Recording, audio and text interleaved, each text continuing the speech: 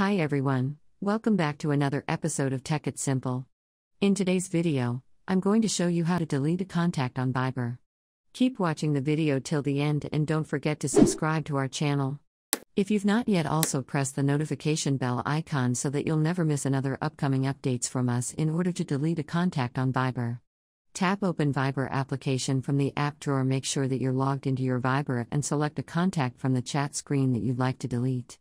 Once you do that, from the chat screen, tap on the three dots at the top right hand corner of the screen.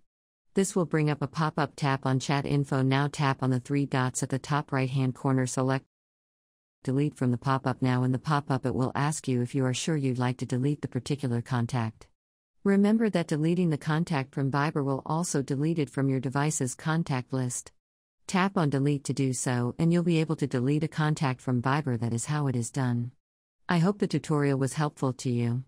If it was, go ahead and give us a thumbs up.